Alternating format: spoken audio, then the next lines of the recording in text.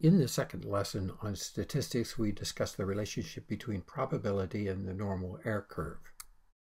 Recall that the last time we discussed large populations of measurements, we pointed out that when only random errors are operating, then the data clusters in a bell-shaped fashion around the average value for the population. Almost as important as reporting the average value for the data set is to report the spread of the data. We chose to represent the peak width based on the distance from the center to the inflection point of the curve. This distance is known as the standard deviation. We note that the peak is symmetric about the population average, and the better the reproducibility, the skinnier the peak. Expressed another way, the greater the standard deviation or the uncertainty, the wider the peak. Since any population of normally distributed data exhibits certain properties, it's useful to generalize. In order to make these observations applicable to any normally distributed data set, let's change the variable along the horizontal axis from the dimensions of the measured value for a particular case to the distance between a given point on the curve and the population average. Dividing by the standard deviation gives us a variable z that is dimensionless, or gives us the distance in multiples of the standard deviation unit. Indeed, Gauss demonstrated that this curve can be generated from an exponential function of z squared. So we can make generalizations about this curve centered about the mean situated at zero. The curve is symmetric and half the population lies to the right and half of the population lies to the left. The area under the curve in a particular region is proportional to the fraction of the population that lies there. Of course, we can calculate that area by integrating Gauss's equation for the curve. It's common to find tables for areas that correspond to different values of z in textbooks of quantitative chemical analysis or other sciences. Let's take a moment to make sense of this table. For example, at a distance of one standard deviation unit from the population mean, the area corresponds to 0.3413 This number refers to the region shaded here between the boundary at z equals 0 and z equals 1. If we think of the area under the entire curve as having a value of 1.00, then the area 0.3413 represents a fraction of the whole contained within this shaded portion. In other words, 34.13% of the measurements lie between the average and the value one standard deviation unit above that average. This also tells us the probability that a future measurement will fall within this range, namely 34.13%. Furthermore, since the curve is symmetric, then the area bounded by plus and minus one standard deviation of the average is twice 34 or 68.26%. We can extend this relationship for z and the probability that a measurement will fall within a certain distance of the population average to any other value of z in our table. Let's take a look at how this might be useful to us by working a concrete example. In the previous lesson, we talked about the usefulness of the error curve and let's apply that. So let's imagine this is an population distribution. Suppose we work for a tire company and this is the population distribution for the lifetime of tires. In other words, we take hundreds of tires and run them until they fail. And we're getting some sense of what the average lifetime for these tires is. Let's suppose that works out to be 38,500 miles. So that's the average here. In the standard deviation we can measure, since we've got lots of measurements, we can use sigma, and we find that to be 90, 900 miles. Now, for the sake of this discussion, let's assume that we're interested in knowing how many tires outlive uh, or live longer than, last longer than, let's say, 40,000 miles. So that's 40,000 miles. That's the line that's on the miles axis. Okay. So what is the population that lives longer than 40,000 miles? So that's this population in the wing right here.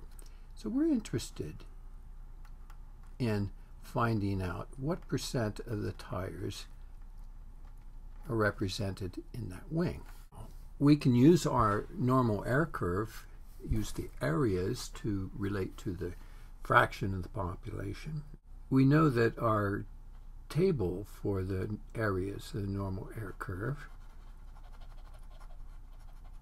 correspond to this region between the average value and whatever boundary we've set.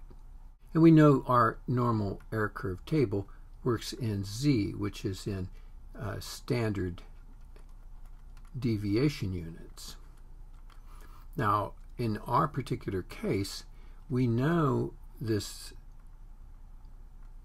uh, curve in terms of miles, and so this distance, d, between the average value and the value at 4,000, that's in miles.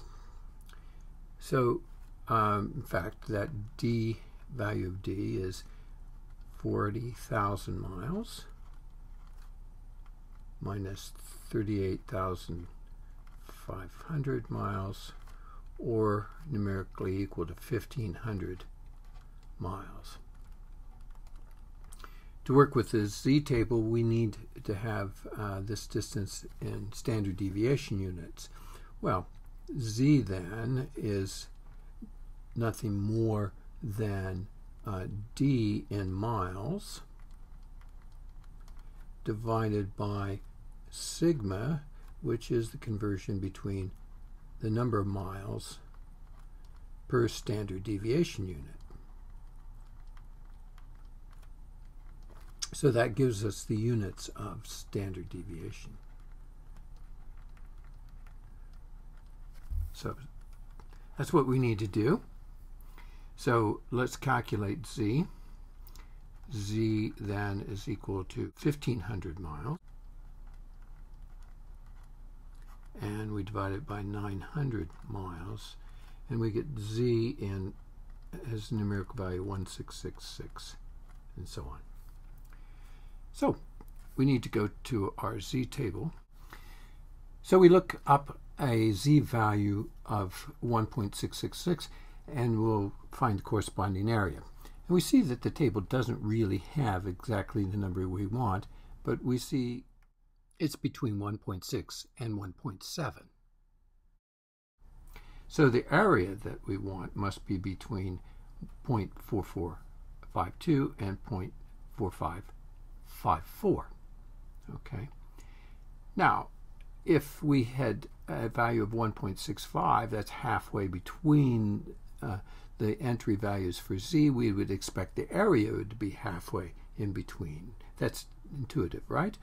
Okay, so what we really are saying is that we take the the z value and find out what fraction that represents for the interval in z, and we add that same fraction in terms of the interval for the areas to the smaller area. In other words, the area that would correspond to the z value would be the smaller number, 0.4452, plus the fraction of the interval represented by the area difference for 0.4 five five four minus zero point four four five two times the fraction and the fraction that we're interested in is the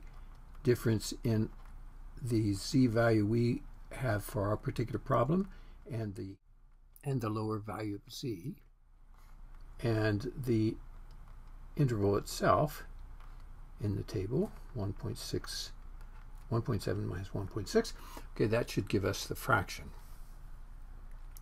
So this works out to be a numerical value of 0.4519. The next digit would be a 9. So the area of interest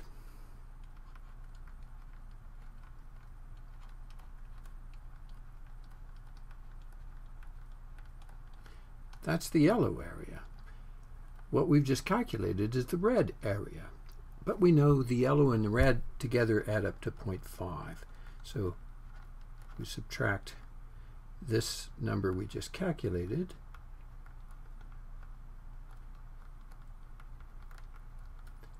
and we get the area in yellow. Okay, so it's 0.0480 or 40 4.8%. So this area is 4.8%, and it tells us that that fraction of the population, that percentage of the population, is represented by the tires in this yellow wing.